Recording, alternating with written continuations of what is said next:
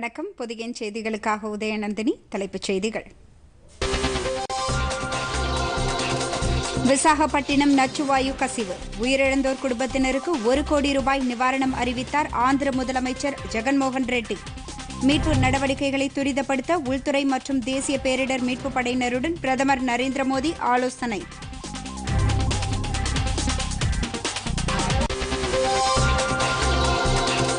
உலக நாடுகளின் வளர்ச்சிக்கு இந்தியா எப்போதும் உறுதுணையாக இருக்கும். புத்த பூர்ணிமா விழாவில் பிரதமர் நரேந்திர மோடி பேச்சு.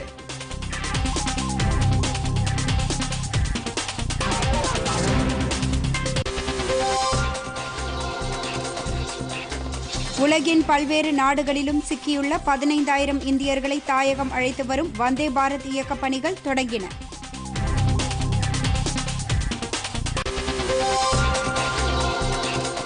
தமிழகத்தில் அரசு ஊழியர்கள் ஓய்வு பெறும் வயது ஓராண்டு நீட்டிப்பு. முதலமைச்சர் எடப்பாடி பழனிசாமி உத்தரவு. திருக்கோவில் அலுவலகங்களை முப்பத்தி மூன்று சதவீத ஊழியர்களுடன் திறக்க அனுமதி. சர்வதேச அளவில் தொற்றால் பாதிக்கப்பட்டோர் எண்ணிக்கை முப்பத்தி எட்டு லட்சத்தை தாண்டியது. பதிமூன்று லட்சத்திற்கும் அதிகமானோர் குணமடைந்து வீடு திரும்பியுள்ளனர்.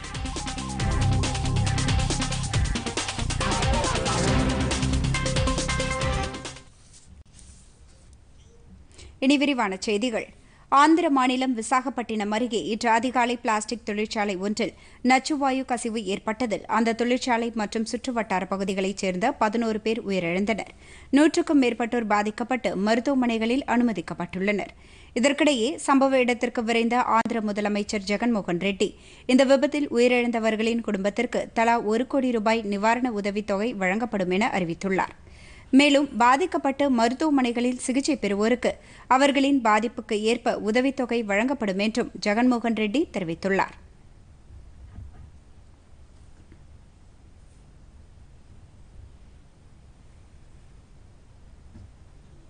விசாகப்பட்டினம் அருகே கோபாலப்பட்டினத்தை அடுத்த ஆர் ஆர் வெங்கடபுரம் கிராமத்தில் செயல்பட்டு வரும் தனியார் பிளாஸ்டிக் தொழிற்சாலையை ஊரடங்கு தளர்வு அறிவிப்பை தொடர்ந்து திறப்பதற்கான நடவடிக்கைகளில் ஈடுபட்டிருந்தபோது இந்த விபத்து ஏற்பட்டது. அந்த தொழிற்சாலையிலிருந்து பரவிய ஸ்டைரின் என்ற நச்சு வாயுவை சுவாசித்தவர்கள் மூச்சுத்திணறல் ஏற்பட்டு உயிரிழந்ததாக தகவல்கள் தெரிவிக்கின்றன. தொழிற்சாலையை சுற்றிலும் சுமார் மூன்று கிலோமீட்டர் தொலைவில் உள்ள பகுதிகளைச் சேர்ந்தவர்கள் நச்சுவாயு பரவியதால் மூச்சுத்திணறல் ஏற்பட்டு சாலைகளிலேயே பலர் மயங்கி விழுந்தனர். இவர்களுக்கு உடல்களில் தடிப்பு ஏற்பட்டதுடன் கண் எரிச்சலும் ஏற்பட்டதாக தகவல்கள் தெரிவிக்கின்றன. இதுபற்றி அறிந்ததும் காவல்துறையினர் மற்றும் தீயணைப்பு படையினர் அப்பகுதிக்கு விரைந்து சென்று பாதிக்கப்பட்ட மக்களை அப்பகுதியிலிருந்து வெளியேற்றும் பணியில் ஈடுபட்டனர். தேசிய பேரிடர் மீட்புக் குழுவினர் மற்றும் மாநில பேரிடர் மீட்புப் படையினரும் அப்பகுதிக்கு விரைந்து சென்று மீட்புப் பணியில் ஈடுபட்டனர்.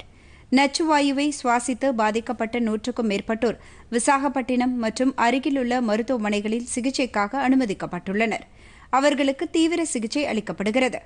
சம்பவ இடத்தை நேரில் பார்வையிட்ட ஆந்திர முதலமைச்சர் ஜெகன்மோகன் ரெட்டி சிகிச்சை பெறுவோரையும் சந்தித்து ஆறுதல் கூறினார். உயிரிழந்தவர்களின் குடும்பத்தினருக்கு ஒரு கோடி ரூபாய் நிவாரண உதவித்தொகை வழங்கப்படும் என்றும் அவர் அறிவித்துள்ளார்.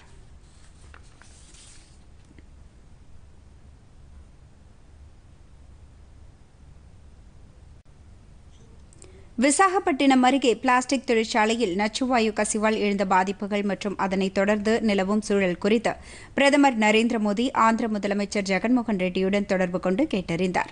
இந்த பாதிப்பால் ஏற்பட்டுள்ள நிலைமையை எதிர்கொள்ள மத்திய அரசு அனைத்து உதவிகளையும் அளிக்கும் என்று அப்போது ஆந்திர முதலமைச்சரிடம் பிரதமர் உறுதியளித்ததாக பிரதமர் அலுவலகம் தெரிவித்துள்ளது.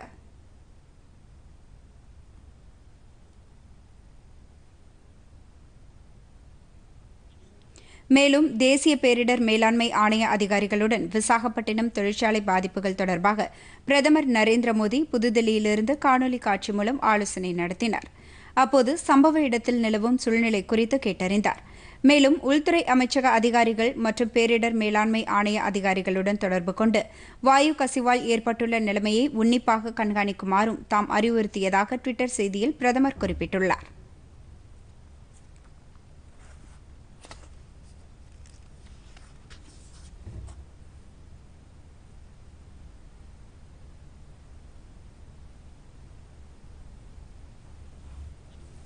விசாகப்பட்டினத்தில் அனைவரின் பாதுகாப்பு மற்றும் நலனுக்காக தாம் பிரார்த்தனை செய்வதாகவும் பிரதமர் கூறியுள்ளார்.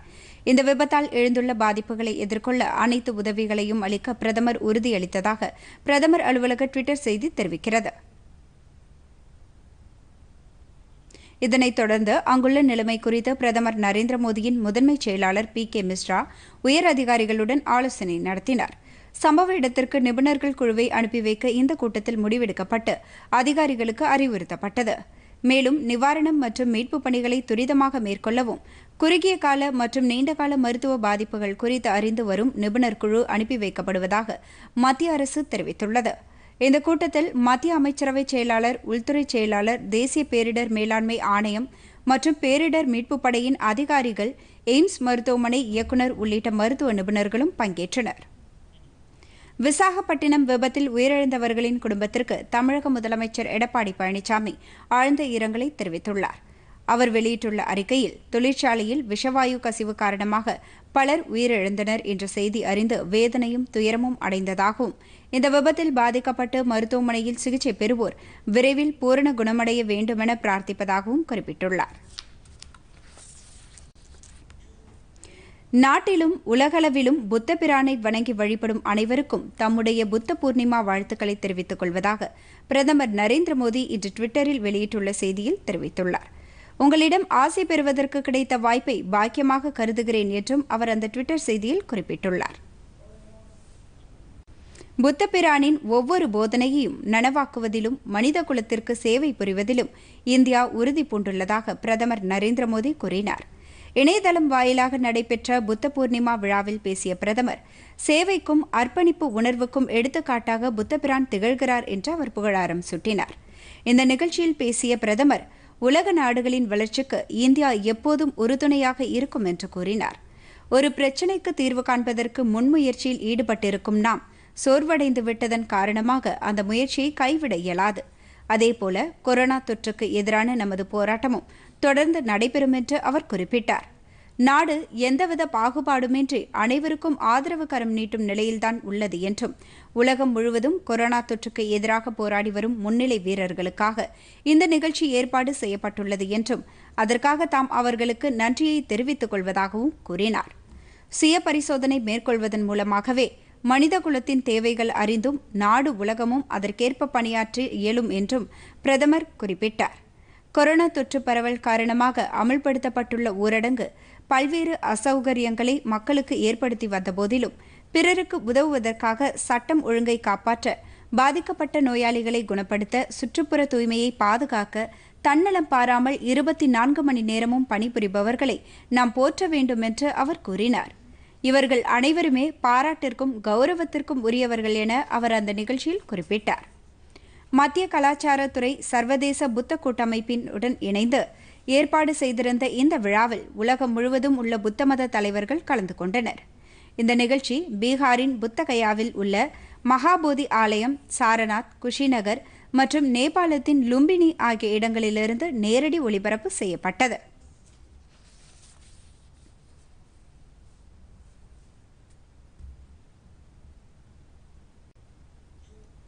அஹிம்சையையும் அமைதியையும் உலகிற்கு போதித்த புத்தபிரான் அவதரித்த தினம் புத்த பூர்ணிமாவாக இன்று உலகெங்கும் கொண்டாடப்படுகிறது.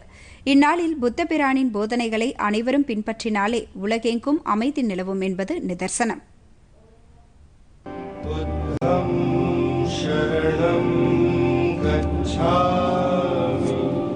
சங்கம் சரணம் கச்சா தற்போதைய நேபாளத்தின் லும்பினி நகரில் செல்வ செழிப்பு மிக்க அரச குடும்பத்தில் சித்ரா பௌர்ணமி எனப்படும் முழுநிலவு தினத்தில் இளவரசன் சித்தார்த்தனாக அவதரித்தவர் புத்த பிரான். இளம் பிராயத்திலேயே அகிம்சை சகிப்புத்தன்மை போன்றவற்றில் ஏற்பட்ட ஈடுபாடு காரணமாக அரச வாழ்வை துறந்த சித்தார்த்தர் மற்றொரு முழுநிலவு தினத்திலேயே இந்தியாவின் பீகார் மாநிலத்தில் உள்ள புத்தகயாவில் போதி மரத்தடியில் ஞானம் பெற்றார். ஞானம் பெற்ற பிறகு உத்தரப்பிரதேசத்தின் சாரநாத்தில் தமது முதற் சொற்பொழிவை தொடங்கிய புத்தபிரான் புத்தமத கோட்பாடுகளை விளக்கி பல்வேறு நிகழ்ச்சிகளையும் நடத்தினார். தமது ஆன்மீக நடவடிக்கைகளால் புத்தபிரான் மகாவிஷ்ணுவின் ஒன்பதாவது அவதாரமாக புத்தபிரான் கருதப்படுவதும் உண்டு. நாற்பத்தி ஐந்து ஆண்டு காலத்திற்கும் மேலாக உண்மை அகிம்சையை போதித்து வந்த புத்தபிரான் தனது எண்பதாவது வயதில் குஷினாரா எனும் இடத்தில் அமரத்துவம் எய்தினார். புத்தபிரானின் வாழ்க்கையில் பிறப்பு ஞானம் பெற்றது அமரத்துவம் என வாழ்க்கையின் மூன்று முக்கிய நிகழ்வுகளும் சித்ரா பௌர்ணமி தினத்திலேயே நிகழ்ந்ததால் இந்நாள் பௌத்த மதத்தினரால் புத்த பூர்ணிமாவாக கொண்டாடப்படுகிறது. புத்தபிரான் வாழ்ந்த இந்தியாவிலும் அவர் பிறந்த இடமான நேபாளத்திலும் மட்டுமின்றி இலங்கை பூட்டான் திபெத் சீனா தென்கொரியா Thailand Vietnam Mongolia Cambodia Indonesia என தெற்காசியா மற்றும் தென்கிழக்கு ஆசிய நாடுகளில் புத்த பூர்ணிமாவாக கொண்டாடப்படுகிறது. வழக்கமாக இந்நாளில் புத்த மதத்தினர் புத்த ஆலயங்களுக்கு சென்று மெழுகுவர்த்திகள் மற்றும் ஊதுபத்திகளை ஏற்றியும் இனிப்புகள் மற்றும் பழங்களை படைத்தும் வழிபடுவார்கள்.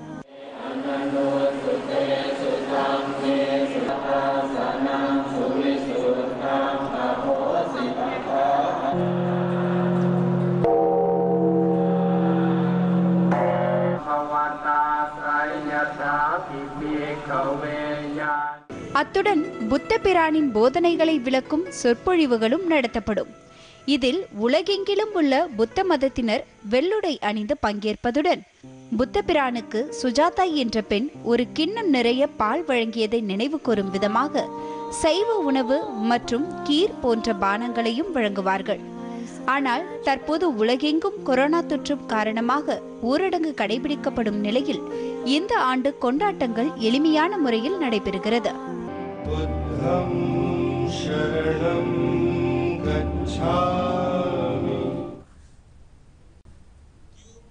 கொரோனா பாதிப்பு காரணமாக உலகின் பல்வேறு நாடுகளிலும் சிக்கியுள்ள இந்தியர்களை தாயகம் அழைத்து வரும் பணி இன்று தொடங்குகிறது வந்தே பாரத் இயக்கம் என்று பெயரிடப்பட்டுள்ள இந்த நடவடிக்கையின் மூலம் ஐக்கிய அரபு எமிரேட்ஸ் உள்ளிட்ட வளைகுடா நாடுகள் America England Singapore Malaysia Philippines Bangladesh போன்ற நாடுகளிலிருந்து இன்றும் வருகிற பதிமூன்றாம் தேதியும் அறுபத்தி நான்கு சிறப்பு விமானங்களில் சுமார் பதினான்காயிரத்தி எண்ணூறு இந்தியர்கள் தாயகம் அழைத்து வரப்பட உள்ளதாக வெளியுறவுத்துறை அமைச்சர் ஜெய்சங்கர் தெரிவித்துள்ளார்.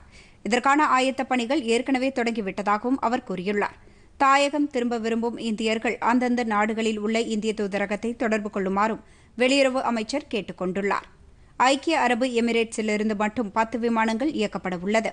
அமெரிக்கா இங்கிலாந்து மலேசியா பங்களாதேஷ் நாடுகளிலிருந்து தலா ஏழு விமானங்களும் Saudi Arabia Kuwait Singapore Philippines நாடுகளிலிருந்து தலா ஐந்து விமானங்களும் கத்தார் பஹ்ரைன் ஓமன் நாடுகளிலிருந்து தலா இரண்டு விமானங்களும் இயக்கப்பட உள்ளன. இவற்றில் பதினைந்து விமானங்கள் கேரளாவுக்கும் பதினோரு விமானங்கள் தமிழகம் மற்றும் தில்லிக்கும் வந்தடையும் என தெரிவிக்கப்பட்டுள்ளது.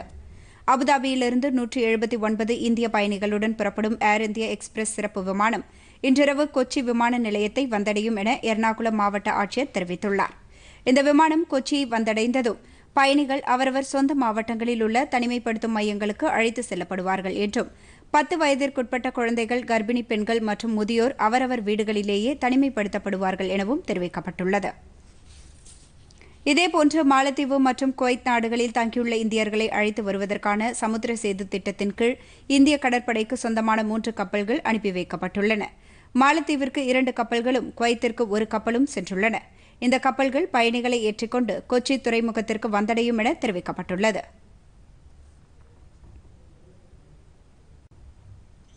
நாடு முழுவதும் இதுவரை கொரோனா தொற்றால் பாதிக்கப்பட்டோர் எண்ணிக்கை ஐம்பத்தி இரண்டாயிரத்து தொள்ளாயிரத்து ஐம்பத்தி இரண்டாக அதிகரித்துள்ளது. பதினைந்தாயிரத்து இருநூற்று அறுபத்தி ஏழு பேர் குணமடைந்துள்ள நிலையில் ஆயிரத்து எழுநூற்று எண்பத்தி மூன்று பேர் உயிரிழந்துள்ளதாக மத்திய சுகாதாரத்துறை அமைச்சகம் இன்று காலை வெளியிட்டுள்ள இணையதள தகவலில் தெரிவிக்கப்பட்டுள்ளது. கோவிட் பத்தொன்பது தொற்றால் அதிகபட்சமாக மகாராஷ்டிர மாநிலத்தில் பதினாறாயிரத்து எழுநூற்று ஐம்பத்தி எட்டு பேர் பாதிக்கப்பட்டு மூவாயிரத்து தொன்னூற்று நான்கு பேர் குணமடைந்துள்ளனர். அறுநூற்று ஐம்பத்தி ஒரு பேர் உயிரிழந்துள்ளனர். அதற்கு அடுத்தபடியாக குஜராத்தில் ஆறாயிரத்து அறுநூற்று இருபத்தி ஐந்து பேர் பாதிக்கப்பட்டு ஆயிரத்து ஐநூறு பேர் குணமடைந்துள்ளனர். முன்னூற்று தொன்னூற்று ஆறு பேர் உயிரிழந்துள்ளனர். தலைநகர் தில்லியில் ஐயாயிரத்து ஐநூற்று முப்பத்தி இரண்டு பேர் பாதிக்கப்பட்டு ஆயிரத்து ஐநூற்று நாற்பத்தி இரண்டு பேர் குணமடைந்துள்ளனர். அறுபத்தைந்து பேர் உயிரிழந்துள்ளனர். ஆந்திர பிரதேசத்தில் ஆயிரத்து எழுநூற்று எழுபத்தி ஏழு பேர் பாதிக்கப்பட்டு எழுநூற்று இருபத்தி ஒன்பது பேர் குணமடைந்துள்ளனர். முப்பத்தி ஆறு பேர் உயிரிழந்துள்ளனர்.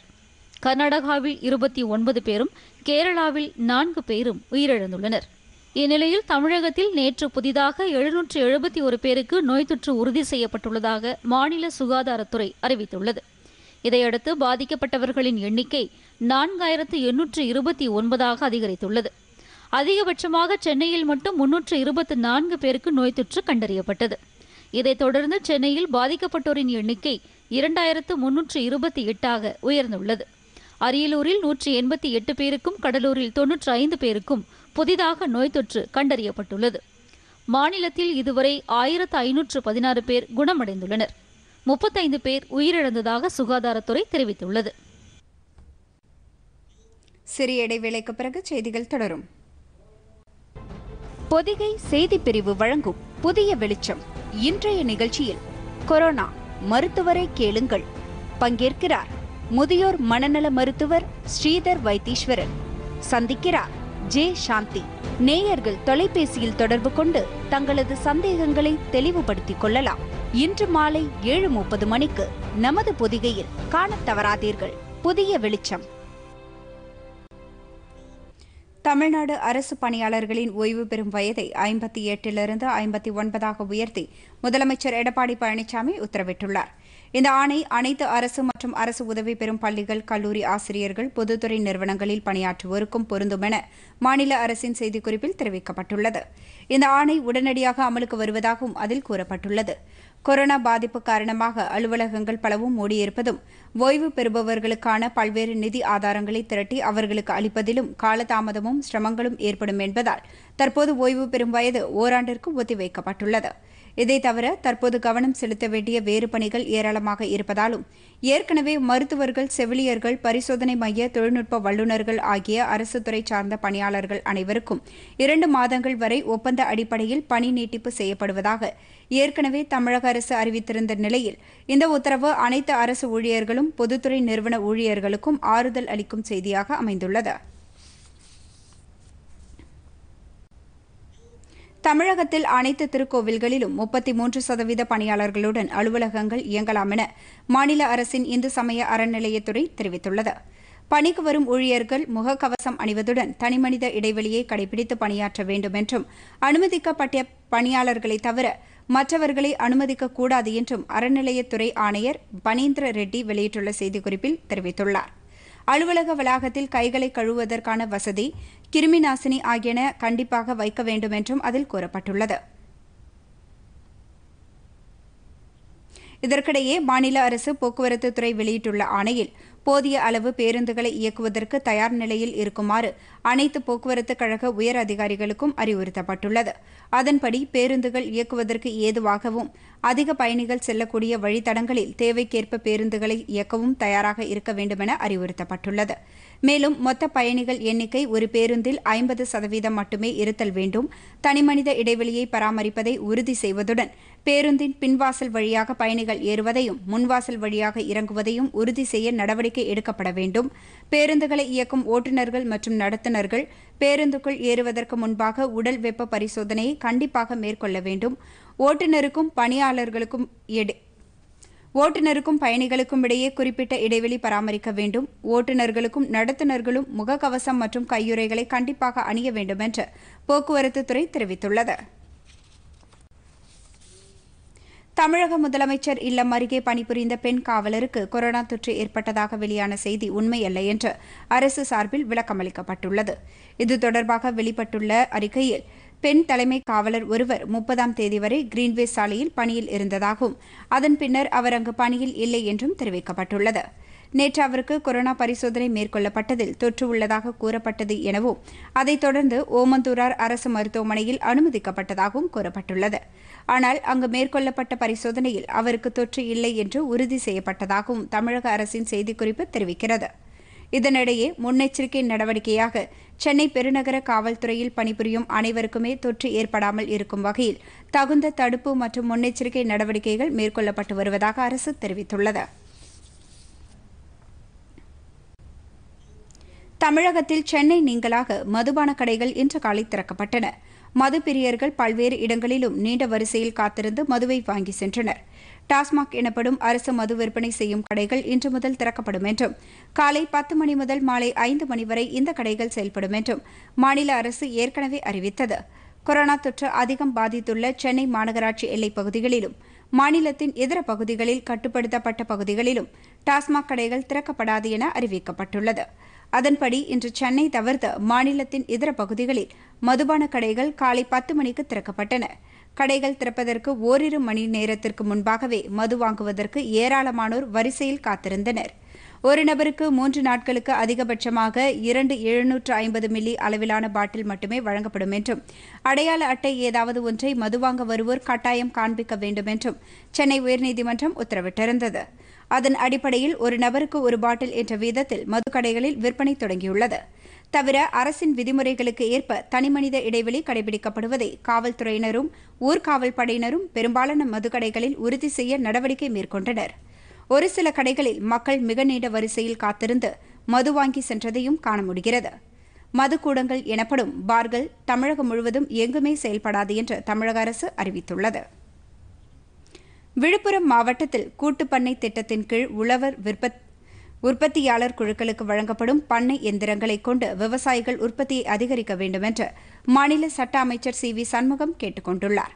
இந்த மாவட்டத்தில் நூற்று நாற்பத்தி மூன்று உழவர் உற்பத்தியாளர் குழுக்களுக்கு ஏழு கோடியே பதினைந்து லட்சம் ரூபாய் மதிப்பில் பண்ணை எந்திரங்களை அமைச்சர் இன்று வழங்கினார். அதைத் தொடர்ந்து அவர் பேசுகையில் விவசாயிகள் சமூக இடைவெளியுடன் வேளாண் பணிகளை மேற்கொள்ள வேண்டும் என்று கேட்டுக் கொண்டாா் பாதுகாப்பான முறையில் பணி செய்ய வேண்டுமென்றும் பணியின்போது பணியின் போது கட்டாயம் முகக்கவசம் அணிந்திருக்க வேண்டுமென்றும் அவர் அறிவுறுத்தினார். ஆயிரம் விவசாயிகளை கொண்ட பகுதிகளுக்கு பத்து பேரை கொண்ட குழுவின் மூலம் எந்திரங்கள் வழங்கப்பட்டுள்ளதாகவும் அமைச்சர் தெரிவித்தார். இந்த நிகழ்ச்சியில் மாவட்ட ஆட்சியர் அண்ணாதுரை உள்ளிட்ட உயர் அதிகாரிகள் கலந்து கொண்டனர்.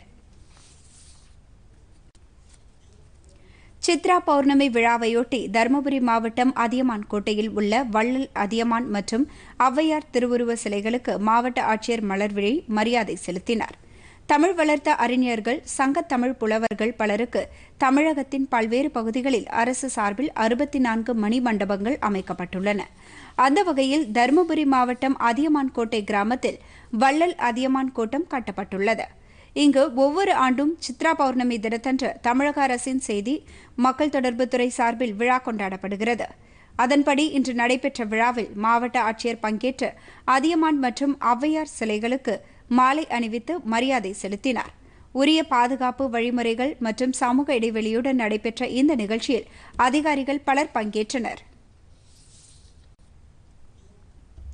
மனித குலத்தில் பிறப்பால் அனைவரும் மனிதர்களே.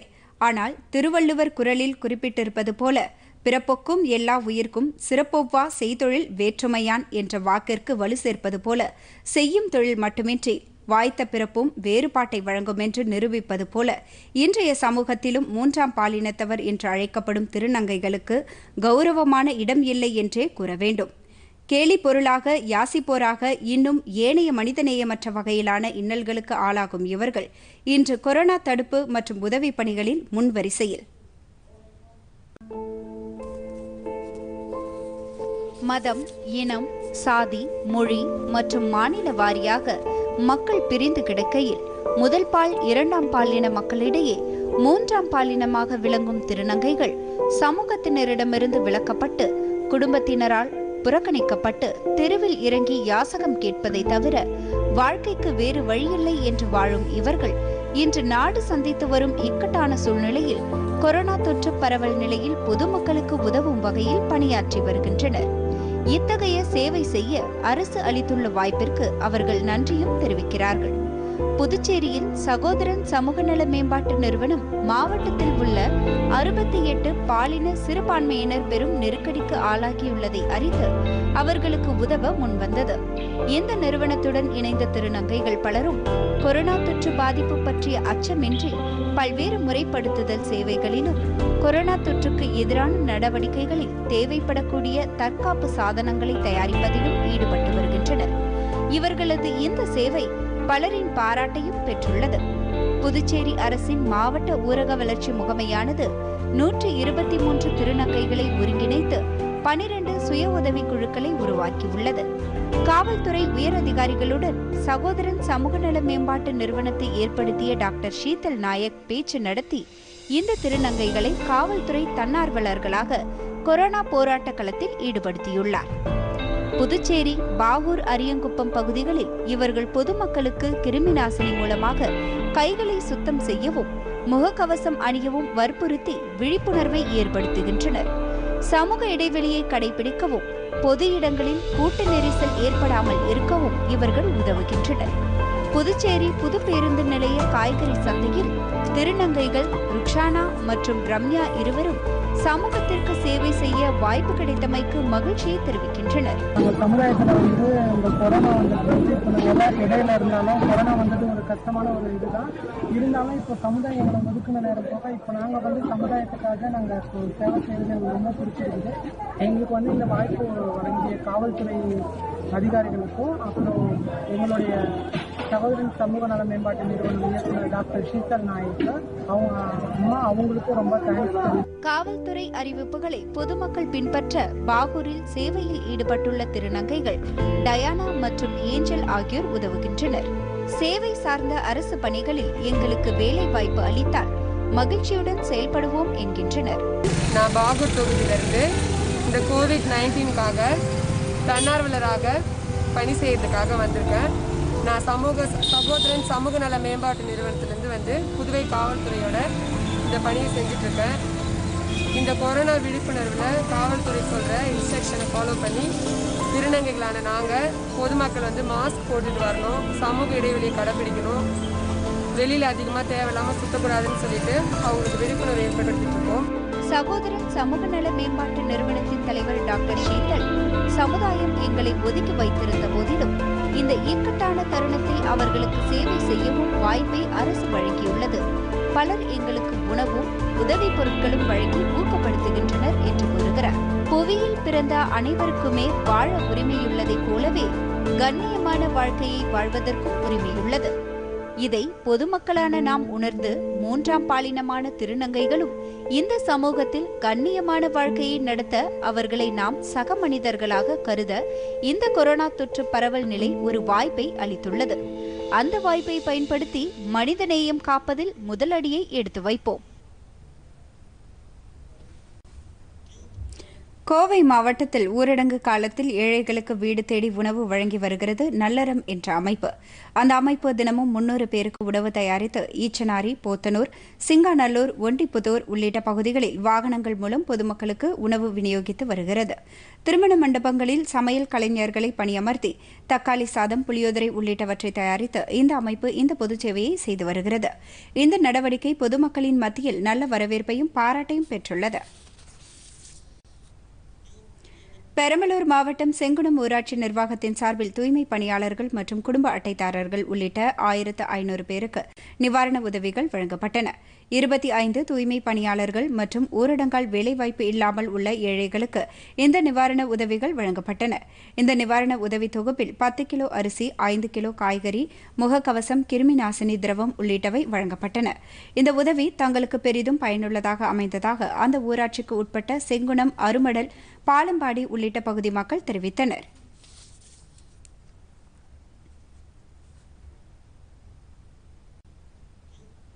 இது கோடைக்காலம். பொதுவாகவே பொதுமக்களுக்கே தண்ணீர் பிரச்சினை ஏற்படக்கூடிய காலகட்டம். வன உயிரினங்களுக்கு தண்ணீர் ஆதாரமாக விளங்கும் வனப்பகுதிகளில் உள்ள குளம் குட்டைகளில் தண்ணீர் இருப்பு பெரும்பாலும் இத்தகைய கோடை காலங்களில் வற்றி விடுவதால் நீரின்றி அமையாது உலகு என்ற கூற்றுக்கேற்ப தண்ணீர் எங்கு கிடைக்கிறதோ அங்கு வன உயிரினங்கள் வந்து செல்வதால் அவை மனிதர்கள் வாழும் பகுதிக்கு அத்துமீறி நுழைவதாக நாம் குறிப்பிடுகிறோம். உண்மையில் மனிதர்கள்தான் வனப்பகுதி என்றும் பாராமல் அங்கு தமது வாழ்வாதாரத்தை ஏற்படுத்திக் கொள்வதால் விலங்குகளின் இயல்பு வாழ்க்கை பெருமளவு பாதிக்கப்படுகிறது.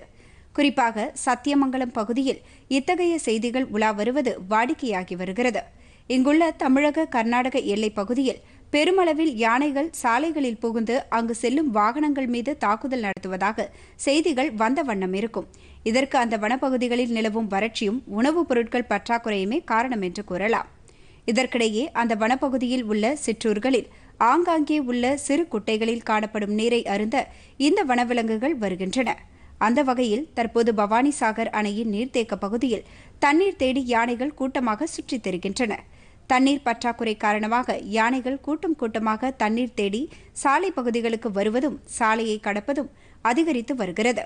பவானிசாகர் அணையின் மேற்கு பகுதியில் உள்ள ஜீரோ பாயிண்ட் என்ற இடத்தில் தண்ணீர் தேடி பத்துக்கும் மேற்பட்ட யானைகள் அடிக்கடி சாலையை கடந்து செல்கின்றன. இதை காணும் பொதுமக்கள் மிகவும் அச்சமடைந்துள்ளனர். யானைகள் வனப்பகுதியை விட்டு வெளியே வராதவாறு வனப்பகுதியை ஒட்டியுள்ள அகழிகளை அகலப்படுத்த வேண்டும் என்றும் வனப்பகுதிகளில் உள்ள குட்டைகளில் தண்ணீர் நிரப்ப ஏற்பாடு செய்ய வேண்டும் என்றும் வனத்துறையினரிடம் அப்பகுதி மக்கள் கோரிக்கை விடுத்துள்ளனர்.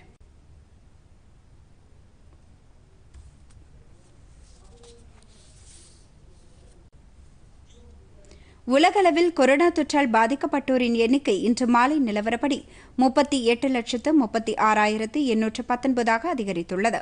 இரண்டு லட்சத்து அறுபத்தி ஐந்தாயிரத்து முன்னூற்று அறுபத்தி ஆறு பேர் உயிரிழந்துள்ளனர். அதே சமயம் பதிமூன்று லட்சத்து எட்டாயிரத்து இருநூற்று ஒரு பேர் குணமடைந்து வீடு திரும்பியுள்ளனர்.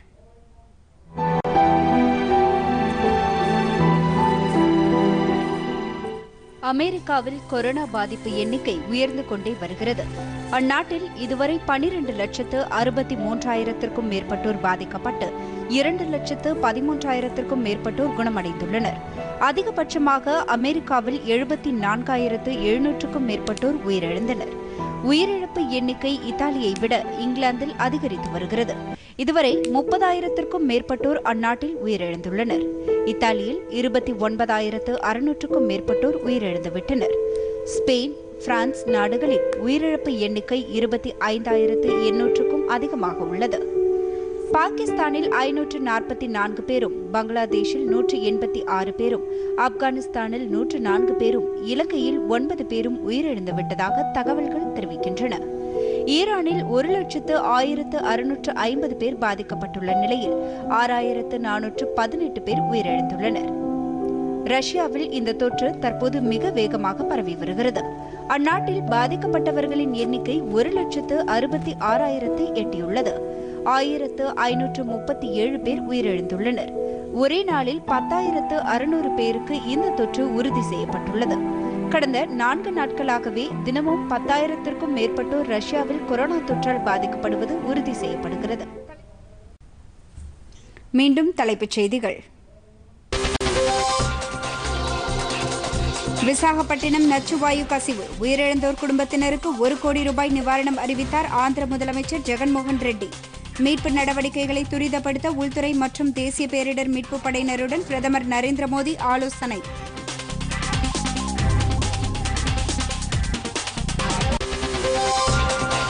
உலக நாடுகளின் வளர்ச்சிக்கு இந்தியா எப்போதும் உறுதுணையாக இருக்கும். புத்த பூர்ணிமா விழாவில் பிரதமர் நரேந்திர மோடி பேச்சு.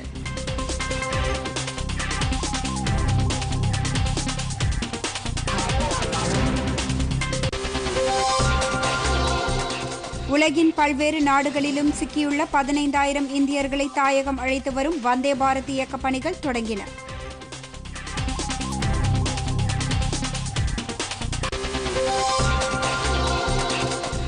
தமிழகத்தில் அரசு ஊழியர்கள் ஓய்வு பெறும் வயது ஓராண்டு நீட்டிப்பு. முதலமைச்சர் எடப்பாடி பழனிசாமி உத்தரவு. திருக்கோவில் அலுவலகங்களை முப்பத்தி மூன்று சதவீத ஊழியர்களுடன் திறக்க அனுமதி. சர்வதேச அளவில் தொற்றால் பாதிக்கப்பட்டோர் எண்ணிக்கை முப்பத்தி எட்டு லட்சத்தை தாண்டியது. பதிமூன்று லட்சத்திற்கும் அதிகமானோர் குணமடைந்து வீடு திரும்பியுள்ளனர்.